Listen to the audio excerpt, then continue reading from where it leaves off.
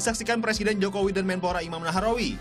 Salah satu powerlifting putri andalan Indonesia Nurtani Purba dan Siti Mahmuda berhasil persembahkan medali perak untuk Indonesia.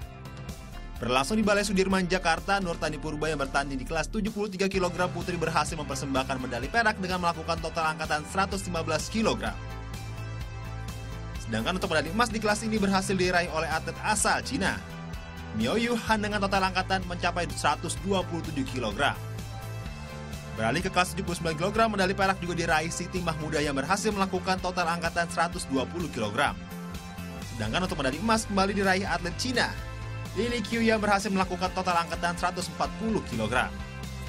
Sementara itu, Presiden Republik Indonesia Joko Widodo yakin Indonesia akan terus melampaui target, termasuk finish di peringkat 8 besar klasemen perolehan medali.